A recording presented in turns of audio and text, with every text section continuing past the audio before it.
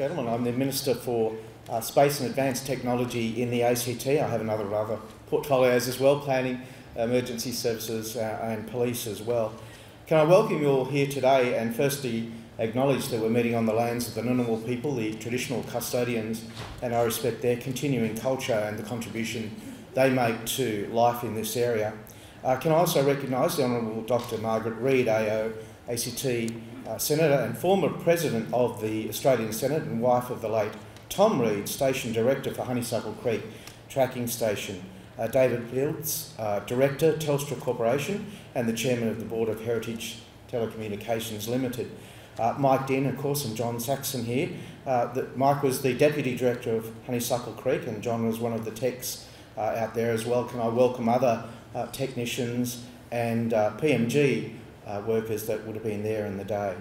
Well, on the 21st of July 69, at 12.56 pm Australian Eastern Standard Time, mankind took its one giant leap and 600 million people watched as Neil Armstrong walked on the moon.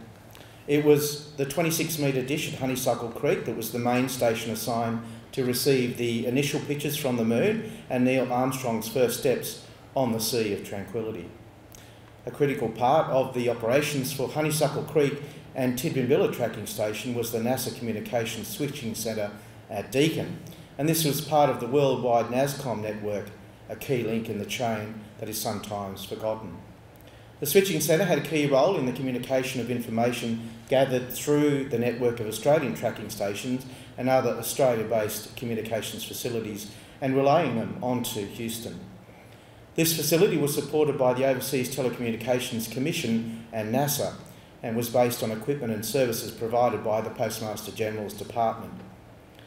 I have a personal connection, of course, with uh, the uh, Postmaster General's Department. My dad was a super tech uh, at East Blocks. He was in charge of the redundancy cable uh, from Honeysuckle Creek to Deakin, and um, I was able to sit there at the console with him during the landing. So it was a great opportunity for me, and I want to say, in appreciation of the work that those technicians did, uh, my father was presented with the Apollo Achievement Award by NASA, and I have a framed copy certificate uh, on my wall at home. I also have an electronic copy which I try and share as much as I can. So, as such, today we are here to acknowledge another integral part of this grand endeavour the people who worked at the NASA Communications Switching Centre in Deakin, the PMG Department, and Overseas Telecommunications Commission, all of whom played such a vital role in the historic moment when man walked on the moon. So, ladies and gentlemen, we have some key speakers to talk about uh, those times. And um, can I first introduce uh, Margaret Reid? Um, and she will give you uh, a bit of history of her time uh, at, the, at the station. You're all very excited to be here. This program is really amazing. A, an enormous amount of work has been put into putting it together, and I commend John Saxon and his committee for, the, for what they have done over many, many months in preparing for the events that are taking place in Canberra. It is very special indeed, and this is a wonderful souvenir to keep uh, recounting those events. I also want to pay my respects to Telstra for remembering the switching station at Deakin and preparing this plaque to honour Kevin Westbrook and his team that worked there. The reason really why we didn't hear too much about the switching centre really was because it all worked so well. And you really only hear the bad stories, don't you? But it is exciting. I was, it was suggested to me that I recount a little of life in Canberra uh, in the mid to late 60s. And many of you here will have many other memories and perhaps no more than I did. But in 1966, there was a, a national census in Australia, and the ACT showed up as having 93,000 people. It's hard now to sort of think back to Canberra at that time. uh, but 93,000 people, most of them living in what is now referred to as the inner south and inner north, and a few were escaping into Woden Valley, and those in the inner north and inner south sort of said, why would you want to live that side of Red Hill? But it was necessary, and of course many who came to work in the tracking stations at the time found it very difficult to get accommodation in Canberra. There were many families that were separated for periods of time while husband worked in Canberra at one of the tracking stations and the family was somewhere else until he was able to obtain accommodation in Canberra and move the family here. At the time of the census, Canberra had a quarter of its population between the age of 20 and 35, so it won't surprise you to know that we topped the list in the birth rate during that census. There were scientists, technicians, researchers, academics. It was a stimulating society as people moved to Canberra to take part in the considerable growth that took place at that time. And those who had escaped in the north and in the south, living in Hughes, Curtin, big machines were sort of preparing Garran, Lyons was on the horizon, and they were busy turning sort of rock and clay into gardens. Probably most of them, like the rest of Canberra, had a Hills hoist in the backyard and they were looking forward to the, owning a Victor mower for when the grass finally grew amongst the rock and clay that they were working on. Alan Fitzgerald, who wrote for the Canberra Times at that era, referred to the Woden Valley development as true, true frontier land. And I think it probably was. But of course, the rest of us heard moving into those areas, heard stories about inner south and inner north, of the burst pipes on the days when it was so cold that the pipes froze, and then when they def when the defrosted, the water ran everywhere because the pipe had burst. One heard those stories at the time, uh, probably from the tea lady who went around the big offices of the great departments of state serving morning and afternoon tea and it really was a most wonderful way to keep in touch with what was happening because the stories would be recounted. Bit of a pity some of these things have changed. You just you have to find out gossip in a completely different way these days. But certainly um, the era of the beginning of the word processors, still typewriters in many places. And children walked to school mostly, some perhaps were driven, but for the most part, children walked to school in the mid to late 60s. Beyond Hughes, Garran, Curtin, etc., it was pretty, pretty rustic. No made roads, that the cars proceeded on to get to Orroral Valley and Honeysuckle Creek, except for the, the sealed road that the Americans put in. But across Woden Valley, uh, when it was wet, it was really just a sea of mud that the cars had to proceed through to get there.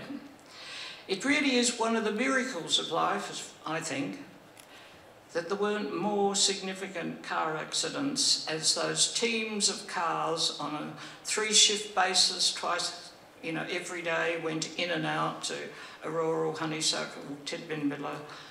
Um, it, we, there were, there were accidents, but it's amazing that there weren't more really significant accidents when you think of what they were doing and where, where they were travelling. But back to Canberra, there were at the time, amazingly, 700 organisations, community organisations, sporting, cultural, social, support, a, a, truly extraordinary community that came together and worked together and enjoyed life together. Friday afternoons in the hot weather, not July, not moon landing time, sort of out to Kadbar Pool and places to swim.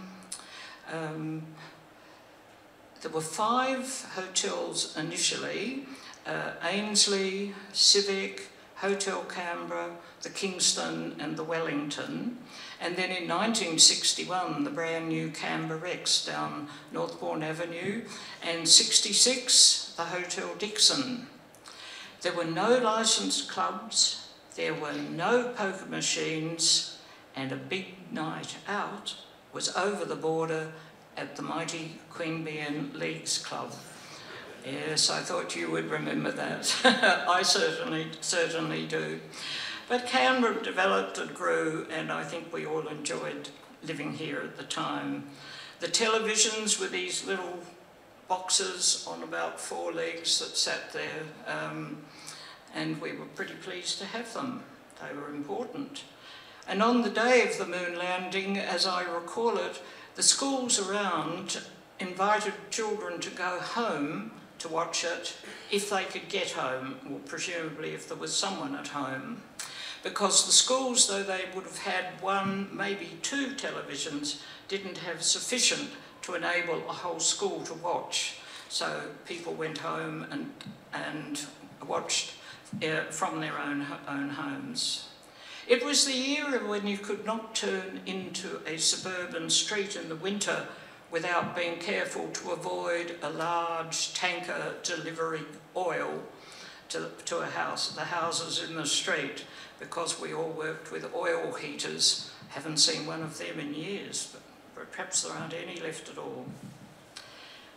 When, when thinking about it, I think it's in the area of banking and shopping that perhaps is a huge difference between then and now.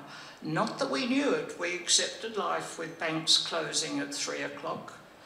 Three o'clock on a Friday till 10 o'clock on a Monday, you had what you had in your wallet, and if it wasn't there, you couldn't get it. No credit cards, no automatic tellers, Friday night shopping here and Thursday in Queanbeyan. Uh, at the weekend, the shops that opened closed at about midday. There were a few little ones that remained open. And that shaped our lives and that was how we lived. But we accepted that as the case. But it perhaps is shopping and banking that are two of the really significant differences that have occurred, not to mention all the technology. So this morning is an important part of the whole celebrations. I feel honoured to have been invited to take part in it and I look forward to the rest of the morning. That was a fantastic trip down memory lane. It brought back uh, a few memories for me. I actually have a Victor toe cutter at home that I've restored uh, in the shed. Uh, for those of you that are a little younger, they were called toe cutters because they had no ridge around the base plate, and if you pulled it back too quickly, you would cut your toe. Uh, and and you mentioned Alan Fitzgerald. Uh, he did move out to Farrer in the Woden Valley. Uh, I was his postman when he lived in Moody Street, so there's another memory. So thank you very much, Margaret. Uh, I'll now introduce John Westbrook to talk about the Deakin switching station.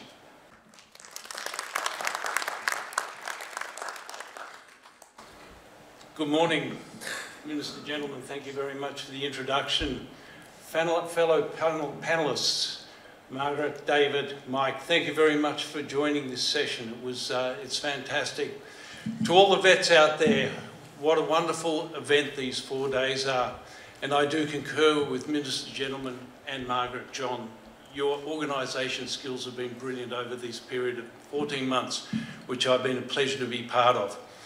Mind you, figuratively, as part of these meetings, I've been to the moon and back. The memory on these gentlemen in their 80s is unbelievable. I try and remember what happened in a day. They go back to seconds. I think this switch was turned to that position on that day at that time. Their memories are, are like, like safe. They just don't forget anything. So to the vets here, congratulations on a job well done. Here to talk in terms of the NASA Communication Centre, um, I, am going to switch gears a little bit here and hope this comes up. I'd like you to reflect on the fact that if for eight minutes the people, the team in this photograph here, hadn't been able to pull down the pictures from the moon. Nobody else in the world did it. There were some equipment failures, but for an eight minute period, when the first step was taken, the team in this photograph here were able to do and perform miracles based on their professionalism and expertise. It's really quite unique. The signatures up here are the, I'm not sure whether this is going to work well. The signatures are the operating committee for the organising for the, uh, for, the, for the 50th. They've done, like I said, a fantastic job and they should be congratulated. But the people in the picture, they did an even more marvellous job. If we reflect on the fact that they weren't able to pull down the eight minutes, we'd only be reading about the first step and the first part of the moon landing in books. And wouldn't the space atheists have a field day? They'd be able to deny it all the way through. It was teamwork, and the teamwork was led by some tremendous leaders at the time, strong leaders. People like Mike, Mike Dinn, John Saxon. In Sydney, you had Bob Goodman, Keith Vincent. Uh, I'm going to forget a whole bunch of people, but they, and, and obviously Tom Reid, from, uh, who headed up the Honeysuckle, Creek Station. But as part of the team, you also had the employees. And this is where a company such as Telstra now PMG, OTC became really, very important. PMG supplied a lot of the manpower going into these teams. The expertise and the development that they were able to, to uh, propagate in the early days prior to the manned space missions was quite incredible. So David, to your, your predecessors, thank you very much. I think it was really very important. I'd like to focus on one person in particular, a person who I knew very well, who unfortunately passed away about five years ago, and that was Dad. Make sure it's coming up. This is Dad when he was 20. he left school when he was 12. It was in 1940.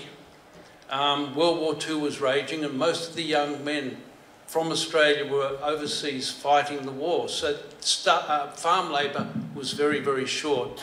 So Dad joined his father on the property, which was reasonably large, which was southeast of Perth, in an area called Muntadgin, about 50 miles out of, uh, out of Merredin.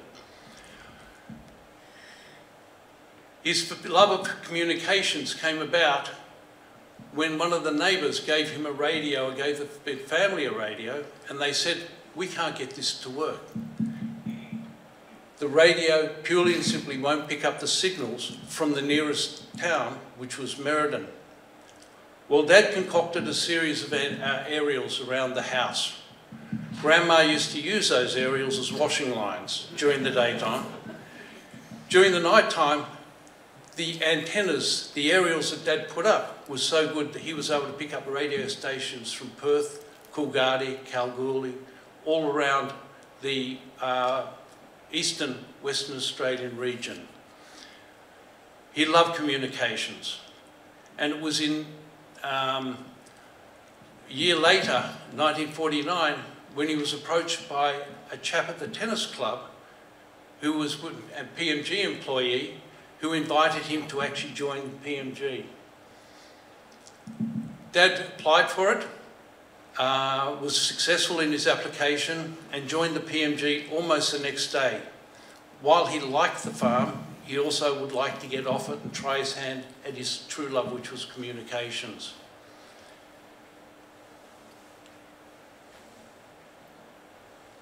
In the PMG, he was a linesman for a short while. Then we moved to Edith Vale. I was only a young boy, two and a half, I don't really remember it, but that was the R&D section for Telstra or PMG at the time. Then came back, he worked at Cottesloe, uh, fixed a small project problem that was going on there, and then executed the project at Bunbury Telephone Exchange, which was completed on time, on cost, and with good quality. He'd caught the notice of the senior members of the PMG, and the senior members offered him to be seconded to the new tracking station at Muchea in Western Australia. Muchea, of course, was doing all the tracking work for um, the Mercury program, together with the other tracking stations around. One small anecdote involving Mum was that just before the launch of the, uh, the, the, spaceship with Ham at the controls, Ham was a chimpanzee, first uh, um, biological organism into space. Before the launch of uh, the spaceship with Ham, Mum gave Dad a bunch of bananas and she said, Kevin, I'd like you to put a banana on all of the consoles of all of the operators. Because if they're working with a chimpanzee, they've got to think like a chimpanzee. Hamish Lindsay documented that in his book, as did uh, James A. Michener in his book of Space. So it was really quite a unique story at the time. From Muchea, we went to Carnarvon. What a fabulous place to grow up. I was nine years of age, and I'm pleased they didn't have any sort of PlayStations or Xboxes or anything else like that. We learned to fish. We went to school in our bare feet. It was just fantastic. The Beatles came along. This was 64. And boy, it was just a wonderful time to be alive. Uh, it was a boy's own annual time. From Carnarvon, we went to uh, South Australia, worked at WRE for 12 months, and then Dad was offered the position of officer in charge at Deakin. And this is where the Deakin Switching Centre became important. This was end of 1965, beginning of 1966. Dad worked there until 1981. Started from very humble beginnings, but just keeping the focus on that at the moment. Um, Dad was part of the Apollo program through Deakin. As Margaret mentioned, there were never any problems coming from Deakin, which was great. Dad brought home all the problems, discussed them with Mum. Mum solved the problems, he took them back, and everything was okay. So Mum was really the hero in all of this, and Dad was kind of the gopher, pushing it all forward. The pinnacle of Dad's career came in 1970. And he was awarded the Silver Snoopy, which I'm very proudly wearing today. The Silver Snoopy was an award made by the astronauts. It was the, it was the ultimate award given to people working in the manned space um, uh, program. For the Apollo 11 moonshot, only 80 people worldwide were given the Silver Snoopy. And this was nominated by Neil Armstrong, Buzz Aldrin and Michael Collins for their expertise, professionalism and contribution to the program and to that space shot in particular. As well as the Silver Snoopy, we got this wonderful personalised letter from Michael Collins, who outlined exactly why Dad was made, uh, given the award. But really, it was a team award. It was a team award for the Deakin Switching Centre. It was a team award for all of the tracking stations that were sending the signals through the Deakin Switching Centre onto Houston, through Paddington, excuse me, Jim, through Paddington and onto Houston. Um, they're wonderful mementos that we keep as treasures of that period of time. Uh, I'm now going to switch gears back to the Deakin Switching Centre, which we all came to listen to in the first place. Firstly, receiving the Silver Snoopy, February of 1970, PMG, Telstra, David, thank you once again. It was a wonderful opportunity from 1949 to 1970. That was quite a journey. I'm not a technical person for electronics communications. I do apologise to the people here who are professionals, experts. I'm not. Give me a, a bucket of water and I can analyse the water. Give me some microorganisms, some virus particles, and I'll do the DNA structure quite happily. But microelectronics and communications, I'm not. When I was preparing this presentation, I went to Colin Mackellar, OAM, Colin, where are you? Congratulations. I went to Colin and I asked him for some diagrams to present a little bit on the technical side. And Colin sent me these two slides. When I opened the first slide, I went weak at the knees. When I opened the second slide, I got a massive migraine headache, so I closed them very quickly. Fortunately, Jim Simpson came to my rescue and he gave me that, which is a much more simplified diagram. Jim, where are you? Thank you very much. It was wonderful. First eight minutes, we pull the signal down, unfortunately the pointer's not working. Pull the signal down from the moon to Honeysuckle Creek Station. Went through to the NASA Switching Centre, which is in the middle there. Then on to OTC Paddington, played a massive role in being able to decipher the signals coming through. Deakin Switching Centre was mainly involved in the voice and in telemetry, signals coming through. OTC Paddington, then with the wonders of the world, we all work with different TV um, uh, configurations. The signal went up to Moree, and Moree converted from 320 lines per second, which was coming from the moon, to the NTSC, signal configuration, I believe it's about 520 lines per second. Then to Intelsat and through to Houston. OTC Paddington also redirected down to the ABC, who then converted to 625 lines per second so that we could locally get the PAL TV signals. And so that's how the signals came from the moon through to our TV sets. Simplified diagram. Jim, thank you very much. Colin, I will study yours in the future, I promise.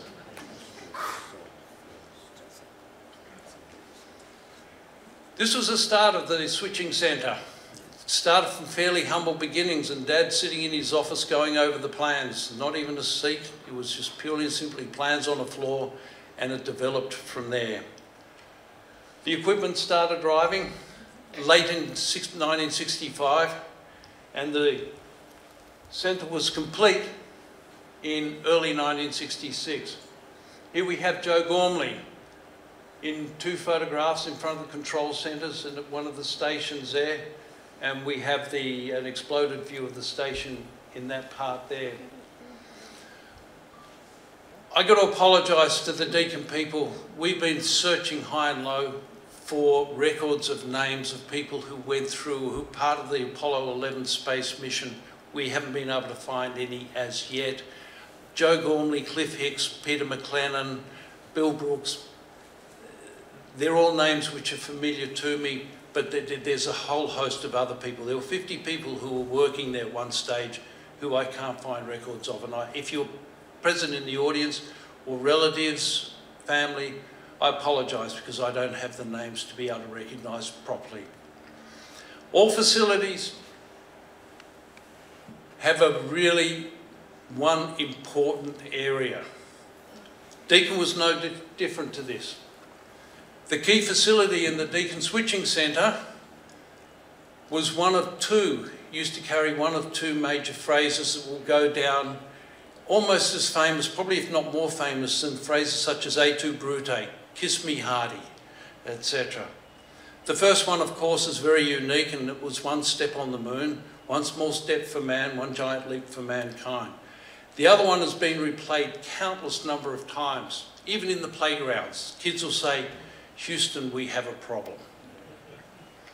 This was a key facility for Houston, we have a problem.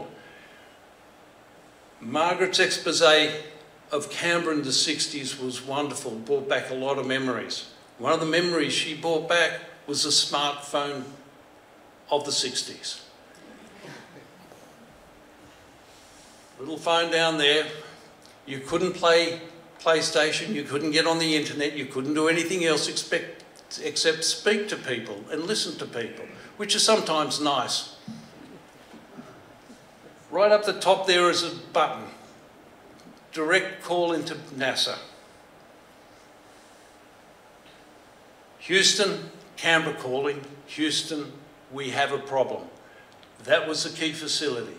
During the sims, during the testing of the circuits, of the relays, of the equipment, that phone was being constantly used to be able to bring the message to Houston that there was a problem that was being experienced. During the operations, during the space missions, there were no problems. Deakin worked very, very smoothly, thanks to, to the men working with Dad. Honeysuckle Creek, OTC Paddington, a marvellous network, a marvellous team. On reflection, if you could put that team of over a thousand people together and call it a sporting team, a political team, a business team, you would never ever lose a match. You would never ever lose an election. You would always be able to post excellent results on a quarterly and yearly basis. With that, I'd like to thank you very much for your attention.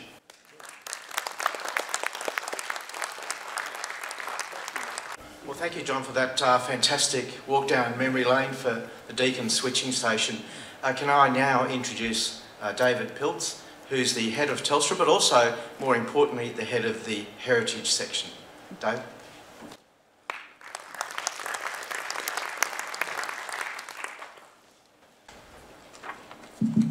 Well, thank you, Minister. And uh, to my colleagues on the panel, um, welcome and for you folks in, in the audience, uh, thank you for joining us today. It's a momentous occasion this week if we reflect back 50 years ago.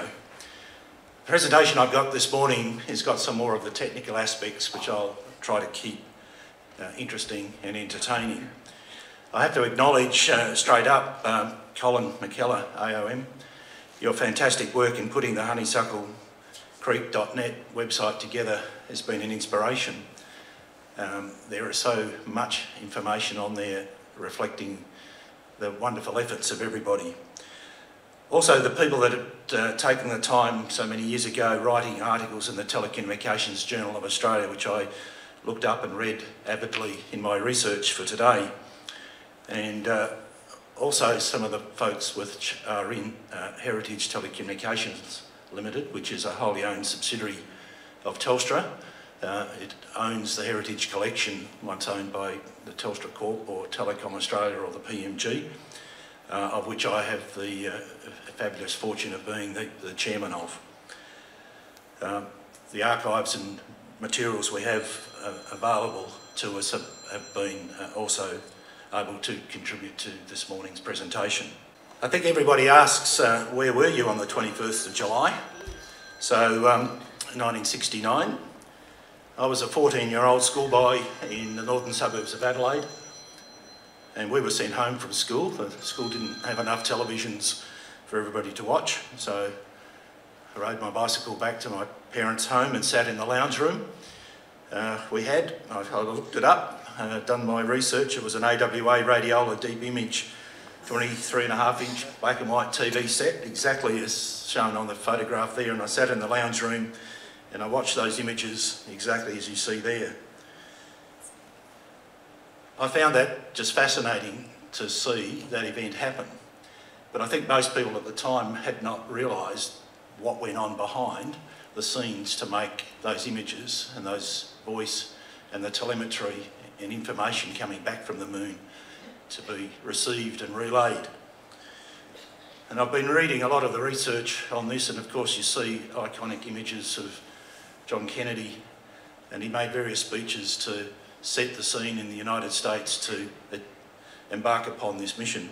There's one particular comment he made at a, at a subsequent um, presentation in Houston, in Texas, on the 12th of September 1962. We choose to go to the moon this decade and do other things, not because it is easy, because they are hard. And I think uh, anybody that's worked in the technology that's uh, part of this, they would actually totally agree with that sentiment. The organisation is creating the capability for the NASCOM, the, the NASA Communications Network. As mentioned, are the folks in NASA themselves, the Postmaster General's Department with the Department of Supply and OTC Australia. And each brought particular aspects uh, to make the communications network come together and work. So a collection of technologies of the day for voice and data, telegraph and teletype terminals, some video switching, because it wasn't so many years before this that television was introduced into Australia. Um, data switching, it represented a $64 million investment by NASA, which in those days was a significant fortune. The Postmaster General had a network of voice and data and telegraph lines. It was only a few years since the introduction of what was known as the Community Telephone Plan in 1960, which the PMG embarked upon an ambitious program to automate the telephone network, which up until that stage was largely a manual network with some automatic switching in metropolitan areas.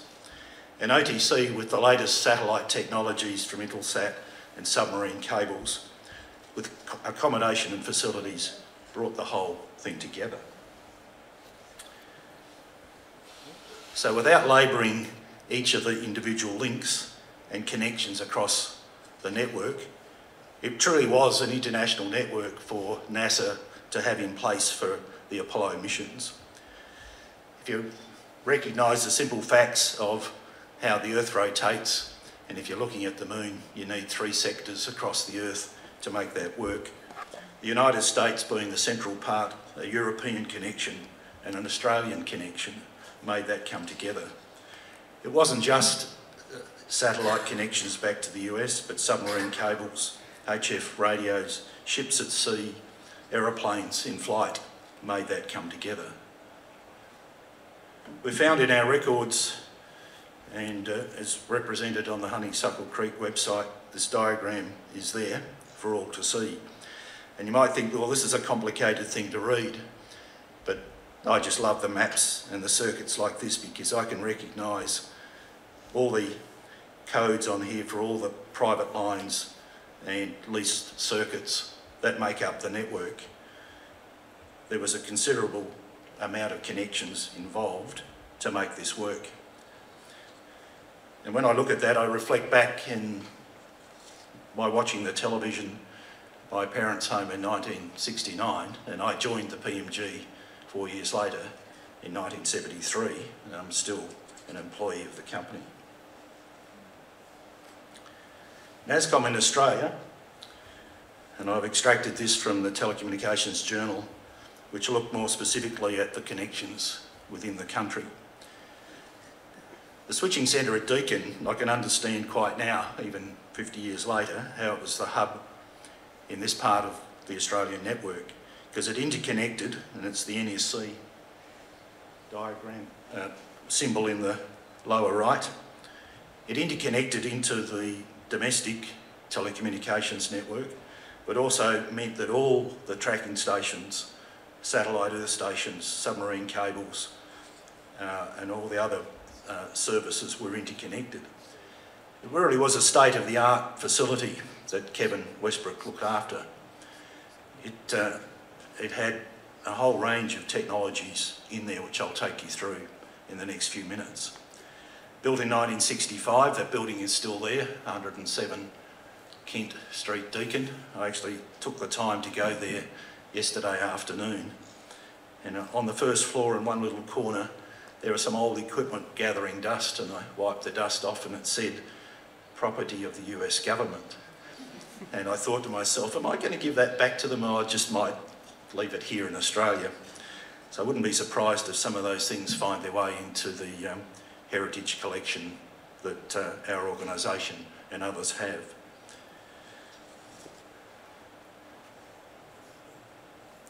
In researching my talk this morning, I thought, well, what was it, that single piece of technology that might have helped most significantly to make this uh, venture and mission possible?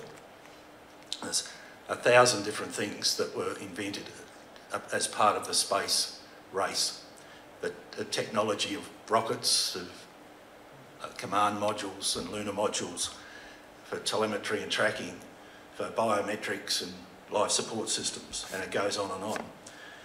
But I thought particularly for communications, there was a little invention in 1947 which really changed the technology front completely. So up until that time, thermionic valves was the way you amplified and transmitted information. But the guys at AT&T Bell Labs at Murray Hill in New Jersey um, invented the semiconductor device, the transistor.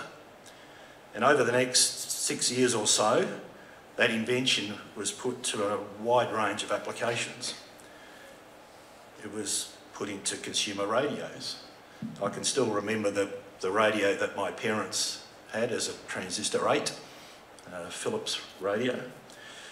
We used it in telecommunications equipment and it really had as an application a, a, an ability to revolutionise and miniaturise and there's a photograph there of some various types of transistors. These days largely integrated circuits and large scale integrated circuits permeate the communications industry. But those sorts of transistors, when I pulled the circuit board out of the equipment yesterday at Deakin Exchange, there it was, those transistors, particularly that one on the, the right hand side, that circuit board had that technology in it. It was used also in computers because the transistor had a unique feature which could be switched on or off. So you could have it zero or a one or a zero and a one, or a one and a one. So straight away, we've got the ability to have a computer recognise states of an electronic device and create a communications network that can be controlled by software. The technology applications in the NASCOM network are just listed here.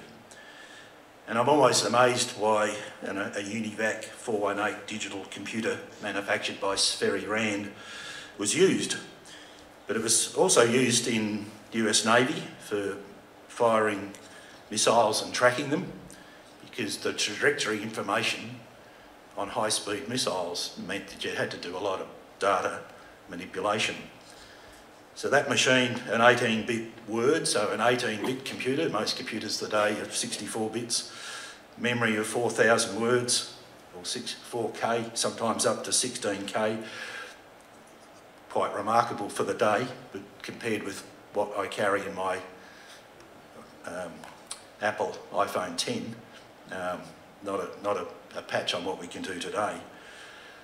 The other piece of technology I found quite amazing was the network was interconnected, particularly back to the Goddard um, Communications Centre in Maryland and then down to Houston. It was a high-speed data modem manufactured by Western Electric. It was a Model 205B.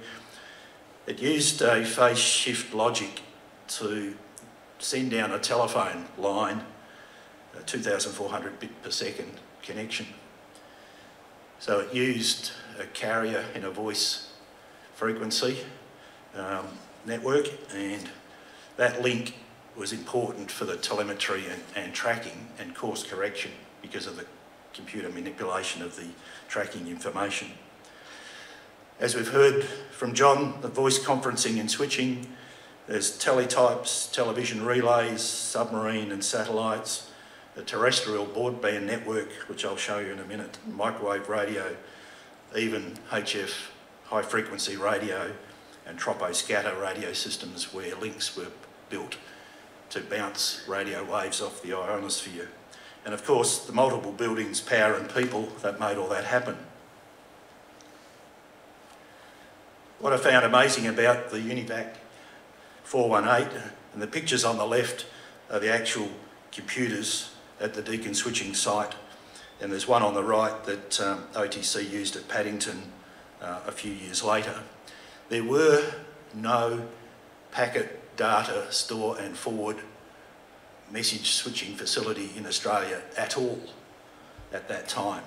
This was the first in the Deakin switch. So it took data information, switched it and connected it to the high-speed links to the US. So 2,400 bits per second. If I look in the Telstra core network today, the high-speed IP router runs at one terabyte per second, which is one times 10 to the 12th bits per second that it can switch, compared with 2.4 times 10 to the 3. So it's just nine orders of magnitude different over those years.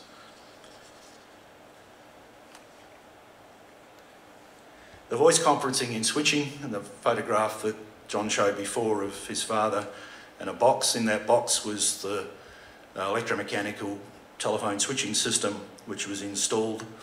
Uh, the bridge network that was connected up enabled multi-point conferencing to take place. Um, and the control equipment that enabled the switching um, meant that was uh, a fully interconnected voice network across the whole of the NASCOM uh, enterprise. Those voice circuits, um, a telephone voice circuit in those days is, was four kilohertz wide. As I mentioned, that modem and demodulator for that 2400 bit per second used a frequency of 1800 hertz. So anybody that plays the piano, that's A seventh, which is over there on the piano. Um, middle C is 262 hertz. And we modulated that carrier with phase modulation to represent 00, 01, 10 or 11. And that's the way the data was transmitted down the lines. The, the control consoles, you can see, were all part of what I think, looking back, was just a wonderfully installed and high technology installation. A lot of the messages in those days were also by teletype, um, automatic telegraph. Um, they operated at 75 baud. A teletype machine had a keyboard which translated the letters into a, a code, and there's a uh, teletype tape indicated there. The Model 28 was used extensively, and there was some um, advertising from the company that manufactured that equipment at the time. Um, the voice frequency telegraph lines used tone modulation to transmit the telegraph data. That was also integrated into the UNIVAC switch. So the machines could either send or receive or print, and a lot of the written communications between stations was sent by teletype. In the HTL collections, the Heritage Telecommunications Limited collections, I had my folks uh, dig out some plans and they found some of the original drawings setting up the Deakin uh, arrangements for the telecommunications network and also in our collection a range of materials printed by OTC at the time celebrating various parts of the Apollo missions. The television relay and radio transmissions were a key part. As we've heard, the first minutes of the um, television pictures received a Honeysuckle Creek image in the centre bottom of the, of the slide. That image was passed on to a control centre in Paddington in Sydney with OTC. Also the Parkes uh, dish was able to be moved into position at the right time, being a larger dish. It was connected back into Sydney with a microwave radio link, and the Parkes link tower with the microwave dishes being aligned is on the photograph on the bottom left. And that connected into the PMG's broadband microwave radio relay network, taking that image back. And after those few minutes, the high quality image being received from Parkes was switched at Paddington as we've heard. And I've also included there the original tower that was at Red Hill which provided connections across the valley to the tracking stations. It was quite amazing because the uh, broadband facilities that were used in those days, being microwave radio, uh, coaxial cable terrestrial and coaxial cable submarine were viewed as broadband. Now today we talk about broadband as something completely different, something you get from the National Broadband Network and it's usually a consumer based connection to the internet. But broadband in those days meant that interstate transmission was on open wire lines, often connected with a 12 channel carrier system which multiplexed together 12 voice circuits into one. And after you'd filled up the pole network, each of the sets of wires with enough 12 channel systems, you'd ran out. And as I mentioned before, the community telephone plan caused the PMG to invest in high speed voice multiplexing systems just because interstate voice telephony was going to become automatic. So there were coaxial cables put in in a number of places. There was certainly one in Western Australia feeding Carnarvon. There was ones to Moree. There's ones between Melbourne and Sydney. So there's a photograph on the right-hand side of the coaxial cable tubes at one of the repeater stations. And this is a photograph at the top left of a carrier centre, typical of the day. It looked very much like um, what we might have had in um, City South Exchange in Castlereagh Street in Sydney. Those techniques used a frequency division multiplexing technique which took each of those 4 kilohertz voice channels and bundled them together into a group of 12 and then took five of those and grouped them into a group of 60 circuits and you took 15 of those and you got a broadband system of 900 circuits on radio or on coax cable. When I went to Deakin uh, yesterday, there's also the photograph, the small photograph in the middle at the bottom of, of the channel modem equipment that would, was used of the day. That's the equipment which has got uh, property of the US government on it. So there we have it.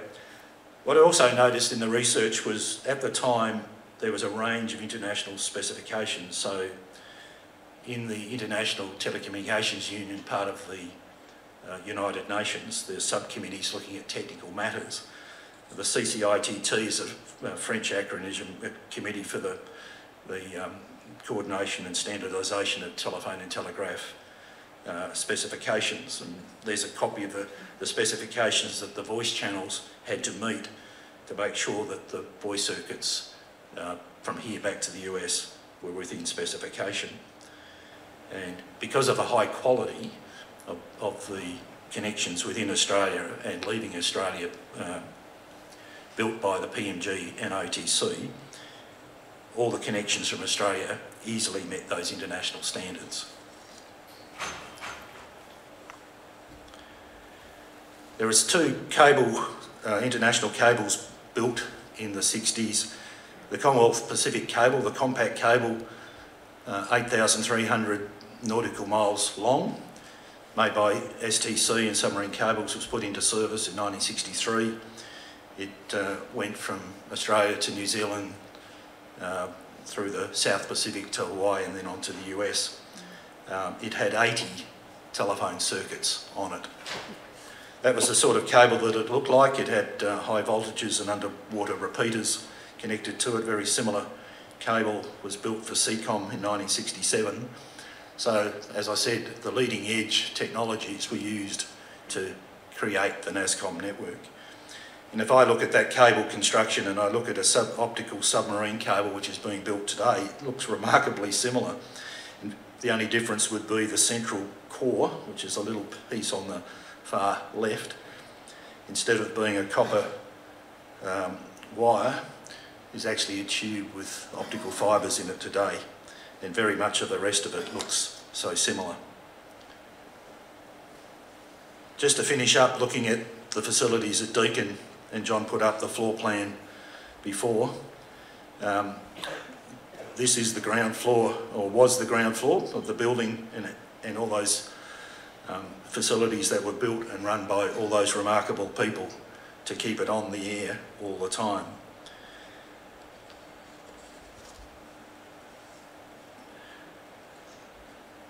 So Kevin must have had a lot of fun going to work in that facility. So not only the, the switching equipment, the computers, the teleprinters, the transmission circuits, the voice connections. In the back rooms were um, no break power supply sets, um, continuously rotating, no break. Behind that was a diesel generator, which is still there. Uh, often a lot of the American based equipment ran on their 110 volt AC system, so we had to do 240 to 110 volt conversions. And there's a photograph of the, the uh, Deakin Switch building uh, taken the other day. The building is still in use by Telstra. Um, the top front part of the building has um, some mobile space station equipment in it for 3G and 4G and no doubt at some stage 5G will be installed and at the back there's a, a telecommunications tower with the antennas on it and the building at the rear is the new building. when I look at the photographs that uh, are posted on the honeysucklecreek.net website, they're really remarkable. And I would say this, this is as good as any station would have been anywhere. Um, with Kevin oversighting it, um, nothing looked out of place. It was, it, it must have been a, a well-run organisation uh, and enterprise. So that facility, as I mentioned, is, is the key hub for the switching of communications for NASCOM in Australia. I have to mention, just in finalising, there are other iconic sites which should be mentioned other than Deakin, Honeysuckle Creek, of course, and Parkes and Moree and Paddington. Um, I still look back, I, I, can remember when I first started that photograph from OTC, that book uh, I read when I first joined. And I've certainly been to Parkes Radio Telescope and the, um, the Paddington International Telecommunications Building.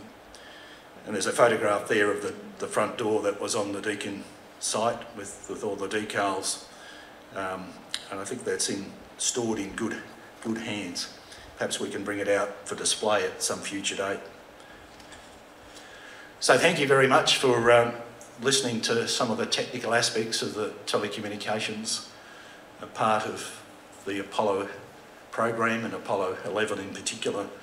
And I hope you can recognise now the significance of the people, the places and the technology here and about in Canberra and other places which made that possible. Thank you very much.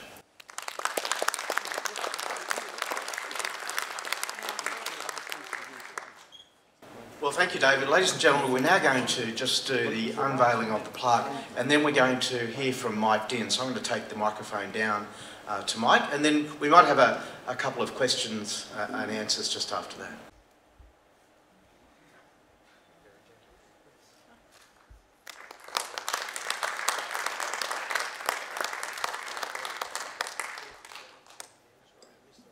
I'm uh, as I said, representing the user of everything you've heard come before.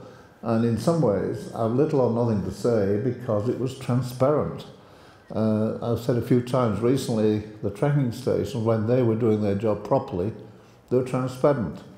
Uh, we were transparent between the astronauts in Houston and, of course, the, the Compart, when they were doing their thing, well, which they did, uh, they were transparent. We didn't know uh, that much of them, but nevertheless, they were absolutely and utterly vital.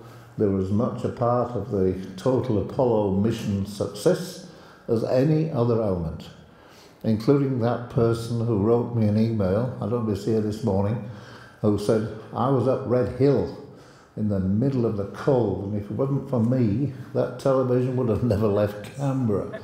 He was just as important, and someone else at Williamsdale. Is that him over there?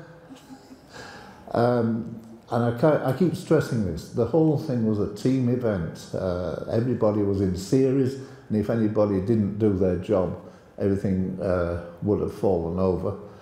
Uh, OTC, PMG, of course. I learned that uh, PMG were NASA's, rather, NASA was PMG's biggest customer in the 60s. And uh, so they set up a whole host of support. And we had a thing called critical coverage uh, whereby no PMG person was allowed to operate any piece of equipment or work on it if it was carrying the NASA circuits going through it. It caused great disruption throughout the whole of Australia, but uh, I only found that out later, and that's indicative of uh, how professional the, uh, the comms world were. Uh, in later years, we had a dedicated support group in Sydney, led by a fellow called Peter Barrett, who I'd loved to have tracked down, but uh, haven't successfully uh, been able to do. Uh, the microwave out of Honeysuckle. Uh, we received a uh, television on Apollo 8 on Christmas Day, but we couldn't do anything with it. We had no connection out of Honeysuckle into Canberra. And so came Apollo 11. Uh, there was great support from PMG, but also the various commercial TV stations supplied lots of dishes, and you'll see that odd picture of the tower with at least four dishes on it, getting the signal uh, in and out of uh, uh, honeysuckle to Great Williamsdale and into, uh, into the town. Um, I'll just sort of finish really with two or three anecdotes. Uh, um, Kevin Westbrook and I worked up a, a scenario one time. When driving to work from Tharwa along to the Honeysuckle turnoff, there were two pieces of two wire, two copper wires running alongside the road there. And every time I rode by particularly with Tom Reid, I'd say, Tom, it's frightening. All our comms are being carried on those two pieces of copper. And if anybody ran into a pole there, which occasionally people got close to it. However, we did have circuits back over the microwave link to Tidbinbilla and then into Deakin. So I set up with Kevin, I said, Let, let's simulate an outage on that uh, piece of copper, which uh, sort of Kevin, me and Tom were, I think, the only people who knew we were going to do this. And we pulled that during a simulation. Well, needless to say, chaos reigned. First of all, agreeing that there was an outage. Secondly, where it might be. Thirdly, what the hell to do about it. And fourthly, who was going to lead it. And uh, it turned out we didn't have any documentation, no one had thought it through, but everybody learnt the lesson. And uh, I, sort of in charge of the operation at Honeysuckle, we moved up a notch in our competence through, uh, through having that little simulation. Nevertheless, the com world used to have, I say this in the uh, best of intents, there was a comms mafia. Uh, in other words, as and when there was a problem in comms, the com world would close ranks worldwide, worldwide, and uh, one had to get into this little group and uh, make sure you could speak the same language. In fact, there was a thing called an order wire that went all around Australia. Fascinating thing to listen into. Every little corner of Australia was on it. And I found there lots of little chats going off there that I wasn't aware of. And so I said to uh, our comms man uh, said, hey, I want a button on my intercom where I can listen to that order wire. And uh, it was fascinating. But tremendous work being done all, all around the country. And the other beautiful phrase I learned working with comms people, well, it's all right leaving us. we all got used to that phrase. Uh, whenever there's a problem, you get this all right leaving us. Uh, and finally, that comments on, two, on 2.4 kilobit circuits. We ran up the Apollo mission on two 2.4 kilobit data circuits. Now, how one needs all these gigabytes, even for your own little home comms, is astounding, astounding. But uh, we did that with a few voice lines as well, and, and one line dedicated to us, uh, astronaut biomed. Anyway, in, in summary, uh, the world did its job magnificently, magnificently. I got to know Kevin very well. We lived in the suburb Lyons, just next door. Used to make uh, Kevin and wife at uh, Coles in the Curtin, and uh, it was a tight little group in, uh, as Margaret says, in the south of uh, Canberra, when you saw dirty, uh, dusty Holdens, green Holdens riding around, you knew that was a tracking station thing. Um, so I'm very pleased to uh, support, uh, support the, the general uh, intent of all this. The role of comms was absolutely imperative. In fact, there's a movie called The Vital Link, which you get a chance to see, that discusses the whole worldwide comms. Oh, and there's one person got to mention, Stan. Stan Anderson? Where's Stan? Over the where there. Stan is over from California. Uh, Stan used to be in charge of the operation of all the ARIA aircraft, the tracking uh, aircraft, which were uh, complementary to the stations. And uh, I think your airplanes used HF, didn't they, uh, Stan? At least uh, up until Apollo 13. Okay, so Though there's a whole another part of comms which uh, existed and used the Australian facilities as well. Thank you very much, gentlemen. That's my summary as a user. Mike Dinn. oh, sounds like a personal question. Well, this is uh, not directly to do with comms, uh, and we could spend three hours talking about Parkes and honeysuckle, but I'm not going to do that. Uh, but uh, John Bolton I got to know very well as the director of Parkes, and we had this debate who got the first television. And in the end, I got in writing from John Bolton, signed, sent it to Ron Ekers, who was the head of the radio physics in Sydney. Honeysuckle had the first television, uh, but Parkes had the majority and best. That was our summary. Well done. I was that part. Oh, fantastic. Well, I think we might just close up. We have some tea and coffee uh, ready for you to join our guest speakers.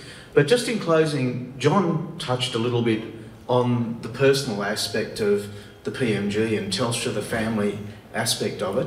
And I thought well, I'd just quickly share mine. So, um, John's father was a, a, a liney for a little while. My dad was also a liney. During World War II, the PMG sent most of the techs out to do liney work. Dad met uh, my mum at Braidwood. She was a uh, telephonist at Braidwood. There was only three in a little wooden shed.